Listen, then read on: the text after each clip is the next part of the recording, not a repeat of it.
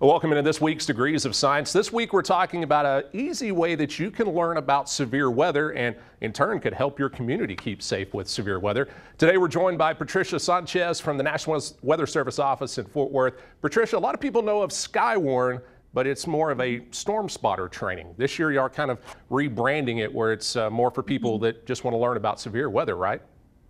Yes, definitely. And it's a, you know, it's a concept. We know that Skywarn is kind of a community here in North and Central Texas, uh, but rebranding on renaming it uh, as a severe weather education kind of just opens the door for people to understand the concept and why you know, we want people to understand what severe weather and also prepare for severe weather, and also uh, the very important part of reporting severe weather in the area. So, what would people learn if they went to a Skywarn training? What, what are y'all going to teach them about when it comes to severe weather? Yeah, so we go like through different phases. The first part is to kind of understand what are the concept, what are severe weather concept, what uh, what is a thunderstorm? What is a thunderstorm, severe thunderstorm versus a non-severe thunderstorm? Uh, understand a little bit of, of what different ingredients come into together to produce uh, severe weather.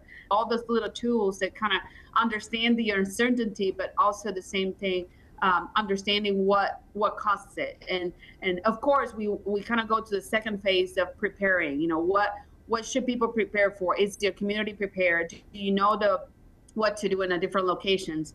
uh, just so that way we can kind of understand, you know, if we are prepared, we can report to the Weather Service, you know, correctly. We know what they want, what they need, uh, but also in a safe and in a timely manner as well. One of my favorite parts of your Skywarn training is, is how visual the teaching is, because we can tell people what a tornado is or hail and stuff like that, or what the clouds may be doing, but how much does that help people by being able to look at a cloud or what's going on and know what's mm -hmm. happening with the environment? Mm-hmm. Yeah, definitely. One of uh, we try every uh, every year we try to rebrand and try to update our, our, our, presentation and it's great that we always go back to their image you know the pictures and how we can really uh, understand the different characteristic and and we use all these images that we use is from our people from our community that we get every year that's why we always at the end of the presentation ask to people if you have any uh, picture or very interesting um, view that you've seen in the past, please share it to us so we can reuse it for future presentations. Mm-hmm. So, with your rebranding to more severe weather education, how important is it to your office for people that live in y'all's forecast area to, to be educated about severe weather, know what's going on with it? Yes, no, it's it's it's pretty much crucial. It's one of our main thing. Just because um, if we have our educated community, this is part of our mission. The more people will do, the better decisions we'll make. Um, and then at the end of the day, you know, it's our influence. You know, with better education, we can influence our community. We can influence our friends, family. So that's kind of like our mission. We do spend a lot of time um, within pretty much every year we've been doing this uh, for at least 10 years uh, as, as, far as i know in the in here in north and central texas that we go through uh, kind of go into the community and, and make sure that if, if they even need a little bit of refresher they can know those little things here and there so they can pass that information and influence others so we're talking about now that you are trying to educate more than just storm spotters but Tell us how, how important are storm spotters and their information into what you do at the Weather Service when it comes to watches and warnings and keeping people safe? Oh, yeah.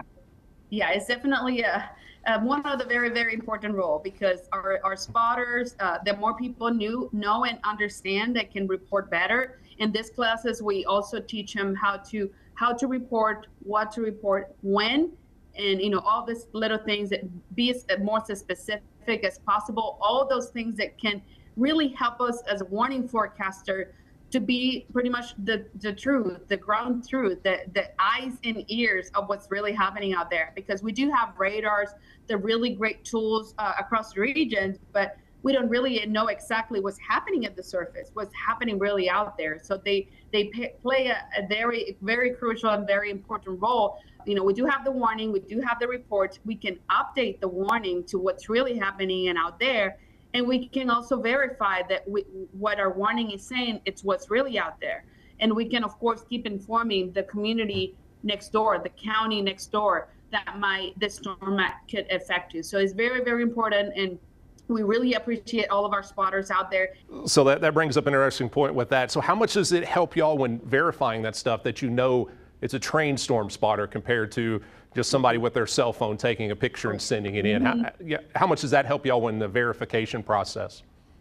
Yes, it definitely just keeps that weight down. We don't know that we don't have to double check it, triple check it, because now with you know with a picture, you know with our cell phone, social media, some of these reports can be from previous events or from areas that not here. So being that trained water spotter, that we receive that information by phone, by social media, by email, any of those resources, we will be like, okay, we trust this person because they've been in our classes. We know that they are very efficient. You know, they know what they're saying, and that for sure we can verify and you know we can keep that information to the to the next county or for the next area that will be impacted. All right, so I'm going to date myself a little bit here. When I started here, we only would get reports from ham radio operators, and sometimes mm-hmm. that would scare people of, well, I want to help with storms, but I'm not, I don't know how to do all of that. They're still really important, ham radios, but how much has technology mm-hmm. helped it in getting videos and pictures and information to your office? Oh, yes, it definitely.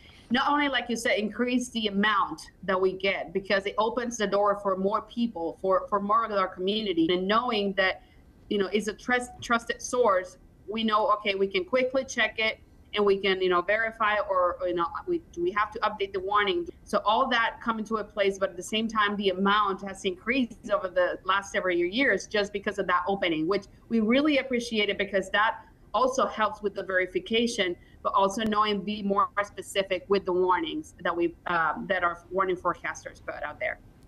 When it comes to the 2024 version of Skywarn, y'all cover a really large area, and uh, you're not going to every single county, but if people want to attend one of these in person, does it have to be in the county they live, or can they go to other places to, to take the class? Yeah, so you don't have to be a resident uh, for the county. If you leave, you know, if your county next door has a class, please go. Yeah, there's no registration needed. Uh, you can definitely attend um, in any of the Skywarners around the area. I see, you know, McLennan, Falls County, uh, and Coryell County across Central Texas have all classes this year. Uh, so yeah, you don't have to be specific from that county. You can join in any of them. And also, uh, we do have that virtual option again this year that we have at least three classes of basic and two classes of advanced that really opens the door for for more people to join um, and then make sure that they can uh, you know have that time to to attend to one of these uh, classes. So for people that have attended one before, do you think it's used for them to do the basic again, or and what what else could they learn also if they attended the advanced version of Skywarn? Yes, uh, it's always a good refresher. There's always um, a new picture or a new topic uh, because, of course, like you said before, you know, it's a very condensed, uh, very good explanation of all the characteristics. So we definitely there's always going to be a little bit of you know here and there that you might to want to refresh.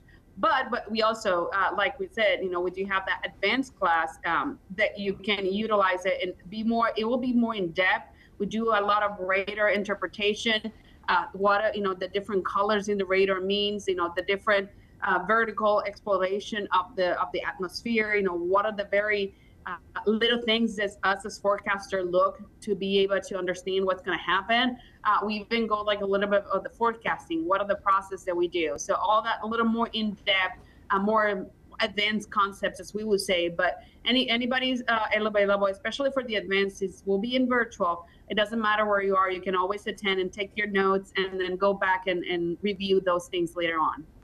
You said that people don't have to register for the in-person ones, but do they need to register in advance for the virtual classes? Yes, sir. Yes, we will. we do have our registration links in our main page, our uh, weather.gov slash uh, Fort Worth slash Skywarn. We do have all the information and all the registration links in there uh, for all the additional information and the times and the dates and, and the links to register for the virtual classes.